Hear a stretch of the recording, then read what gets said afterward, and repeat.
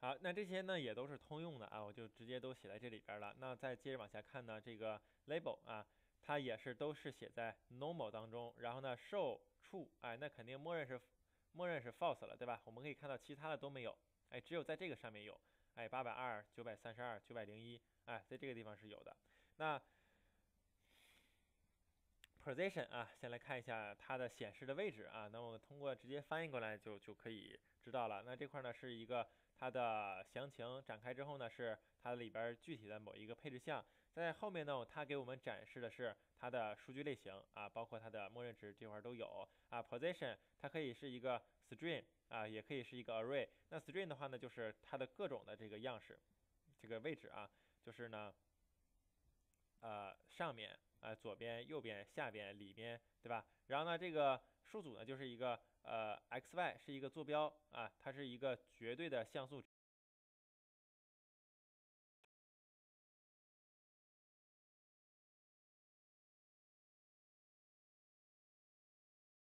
它这个数据点会在哪儿，对吧？要不然的话呢，啊，你这个很难去指定一个准确的位置啊，或者说你想让它具体就在哪儿显示的时候，啊，你确定了一个地点的时候呢，你再使用它。那比如说我把它放到。哎，bottom 让它显示在下边，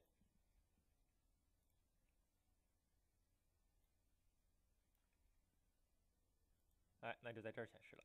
哎，那它默认呢？看一下啊，它的默认值，哎，默认值呢就是 top，所以呢这个我们可以把它干掉，也是可以的。啊，这样也是可以的啊。好，label 属性呢就是。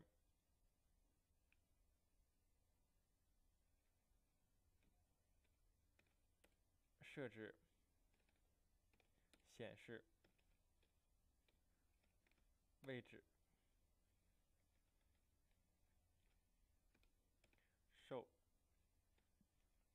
开启和关闭啊，然后呢，显示位置是这个 position。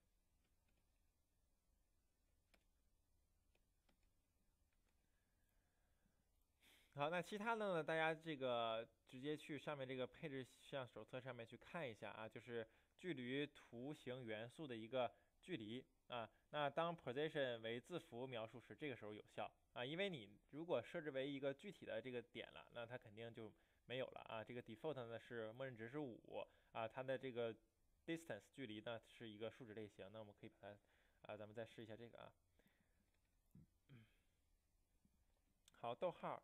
key 冒号啊，比如说二十，哎，那离得就比较远了，哎，那它这个方向呢，就是根据你的这个设置方向，比如说 top，哎，那就是离上面啊会出一段距离，哎，bottom 就是离下面再再远一点距离，啊，这个呢很好理解啊，啊，那这块咱们就过去了啊，那这个具体的一些配置大家可以直接去查啊，然后呢咱们来看一下它另外一个这块的一个概念叫做堆叠。啊，堆叠的什么意思呢？那我们重新刷新一下啊。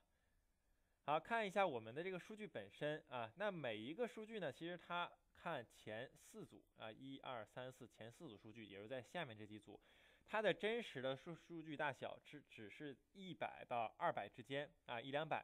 那我们可以看到整个坐标轴它已经堆叠到了一千六左右啊。那这块呢，就是由我们的这个 stack 啊，stack。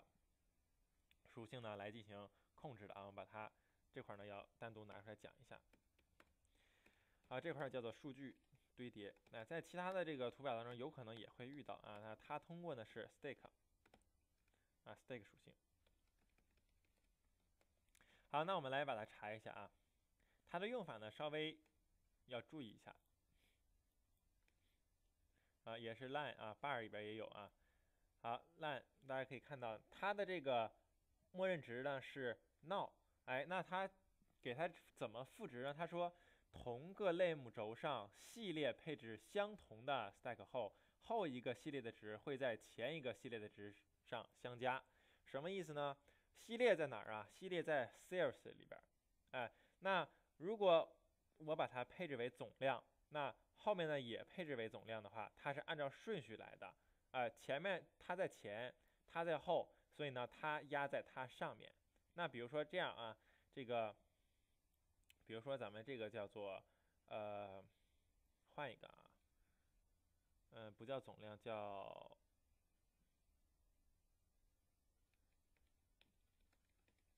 广告量。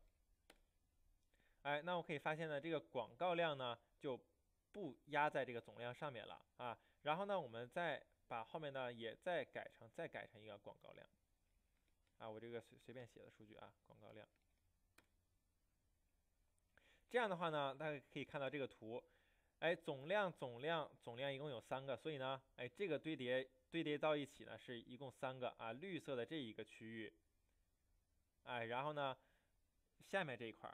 啊，再加上最底下的，这是这三个是一组的，哎，然后呢，上面这两个堆叠，就是广告量这两个是一组的，啊，那这样的话呢，就是我相同的系列会压在上一个系列上面，哎，那所以呢，大家注意这个 stack 啊，它的值是根据系列来进行配置啊，默认值为 now，哎，也就是说呢，我如果把它干掉的话，大家来看一下这个效果啊。但是呢，这个里边显示会比较乱，咱们用线性的，这个是一样的啊。它这块也是有一个堆叠。那我现在呢，先把它干掉。哎，如果呢我把它干掉的话呢，那数据呢就是它的真实大小了，哎，直接显示在相应的位置。哎，这是我们的一个数据。哎，如果堆叠的话呢，就是一层一层往上摞，这样的话我的数据之间不会有交错啊。你可以看起来呢可能会。更清晰一点，然后呢，你通过这个，哎，它这个两个线之间的这个呃大小就能够知道它的值啊，然后呢，你还方便统计一个总量，对吧？整个所有的加起来就是上面的，哎，你可以知道每一周它的总量，哎，这样的话呢，你相当于无形中呢又多了一个数据维度，省得去单独去进行计算，所以呢，它有利有弊啊，就是这种面积图的话呢，一般不一般呢都用堆叠，呃，不堆叠的话呢，你这个。呃，显示会非常乱啊。那这个折线图的话呢，你可以不使用堆叠，啊，去看一下它们互相的这个比较关系，对吧？哎，挤在一起的时候，你你知道它们互相之间呢，谁谁高谁低，这个呢看看起来呢比较明确。所以呢，这个 stack 啊，默认值为 now。